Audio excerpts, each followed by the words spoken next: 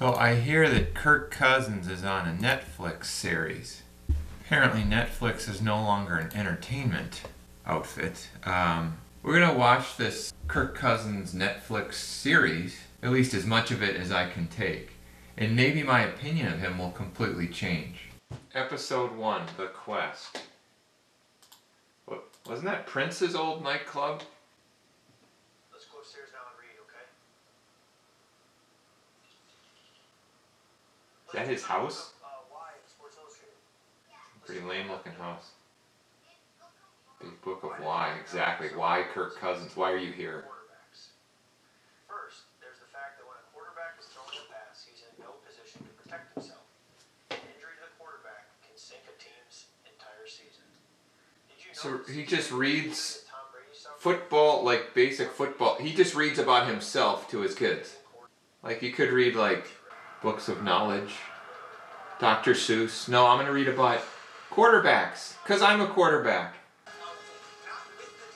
Wait, Marcus Mariota, the pro, he's one of the like I thought Kirk Cousins was uninteresting. Now Mark Marcus Mariota is he even in the NFL? Oh, that's good language there. Trying to skip ahead to Kirk Cousins here because this Mahomes stuff is too interesting. differentiate between sombrero and halo. I don't want anybody to think that like I'm doing a halo or that I'm doing a sombrero. Sombrero is gonna Differentiate between halo and sombrero. Let's make our, our play signals as close together as possible so they can be confused. Doesn't matter. He's going to check down whether it's halo or sombrero anyway. Nice hair.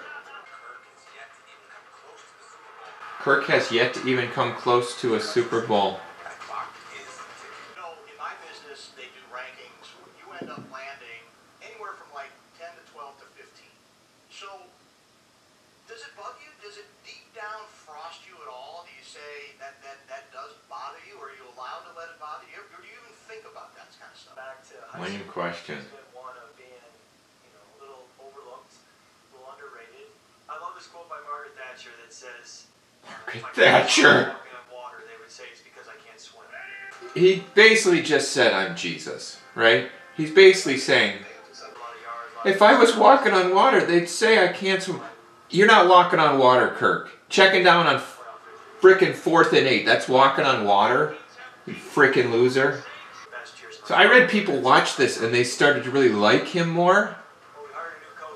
If I walk on water, they'll say I can't. This is what this loser quotes. So much of it is narratives, which about Kirk are false narratives. Is this guy? Could this guy say any less? Could this guy be more of a middle management type loser? This Kevin O'Connell guy. It's all narratives, showing up small in every big game. Justin Jefferson could not be less interested in what Kirk Cousins is saying. Oh, you dork. Could he look more like a pedophile? It's not REI, it's a BTK. I wish I would Bauer. Maybe that fits my brand a little more, but uh, my wife dresses me, by the way. My wife dresses me. Well, we have one thing in common. In addition to being. Pathetic. That looks like my closet. We kind of go with the simple, um, people call it dad um, style. Julie. Very classic, week one. I thought this is the perfect shirt for You know, September. For week get him a shirt that- that, Like it has a head covering. So we don't have to look at his face. So the hot comments were so funny. She seems nice. I like her. Can we just make her the focus of this episode? I'd rather. You know, I'm pretty She seems like like a nice lady. Yes, we do shop at Target and Sam's. Club, not Costco. Okay, That go for it. there you go. Losers. I mean, look at that living room. It's like you make 25 million. You don't even have a, have a place to put your TV. It's like? I'm a van guy. I'm a van guy. Yep. Yeah, George Costanza dating his cousin in that Seinfeld episode. That's Kirk Cousins.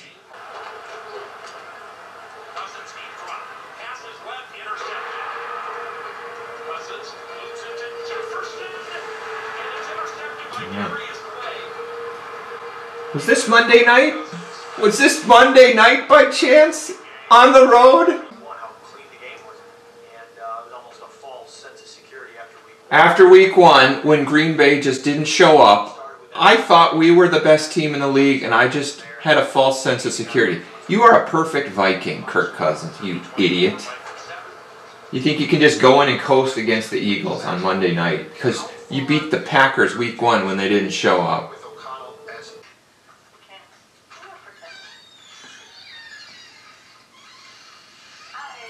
So now we're on to Marcus Mariota, and we are, I think I'm about halfway through, ep- not even halfway through episode one, and they're like eight episodes. So I thought she was kidding. I thought Did people actually sit through this? How? initially, and then yeah, and then there's a whole bunch of excitement, and then there's like An eight "How are episode we gonna do this?" series on.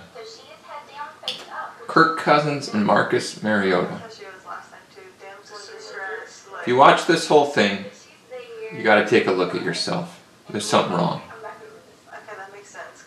I see Marcus Mariota's pregnant wife's belly covered in gel. Okay, I don't. I've seen worse things, but it's just something I don't really need to see. Well, I'm not watching all this. I have better things to do. Well, actually, I don't. Although my, my new wife wants me to do something. Um, so she can have a, a baby. Um, now, Marcus Mariota talking about his how many girl cousins he has. This is, I guess they just want cousins, whether it's Kirk Cousins or Marcus Mariota's cousin. It's all about cousins. People sit and watch this. I'm gonna kill myself with a Vegematic before I watch more of this.